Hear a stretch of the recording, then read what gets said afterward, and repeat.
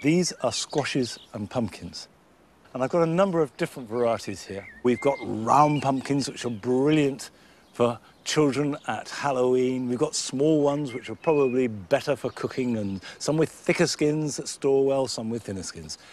And they're very much plants of high summer. They need heat and preferably moisture and lots of nutrition and lots and lots of it from the middle of June to October. I sowed these plants about six weeks ago, but if you haven't sown any and you can't buy any, you can sow seeds now, but sow them direct. Don't sow them in a pot, put them in the ground. Put two seeds in where you want them to grow, and then weed out the weaker of the two.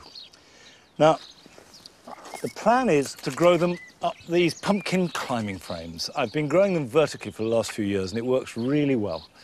They're pretty strong, just bean sticks won't do. They're going to have to take quite a lot of weight, and I will get two or three plants in each row. So I'm starting with this one. This is called Blue Hubbard. And the skin is blue, but the flesh is orange and very good. And the ground has been really well manured. I've put in loads of garden compost. All right, let's put another Blue Hubbard there. So that's like that.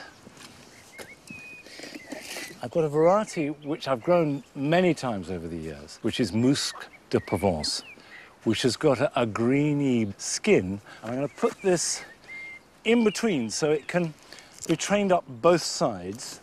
So that will go there, and that like that.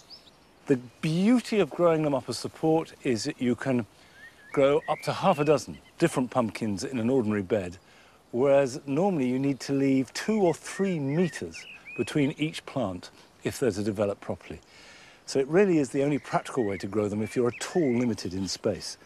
Now this one is called blue kuri, and the kuris are Japanese and they're smaller, and they're much better for storing and absolutely delicious.